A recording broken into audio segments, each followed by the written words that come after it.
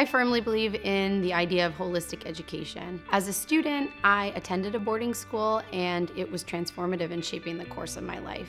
The opportunities to engage with the faculty really never stopped. When I thought about a career, I thought boarding school was exactly where I wanted to be because I wanted to pay it forward.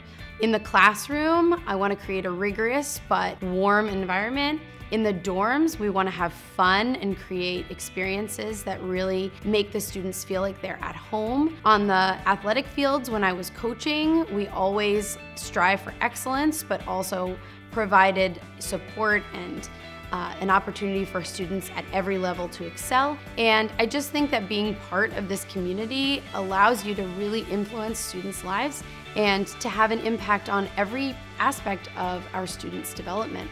I think it's a really special way to educate students and it's something that I'm really proud to be a part of.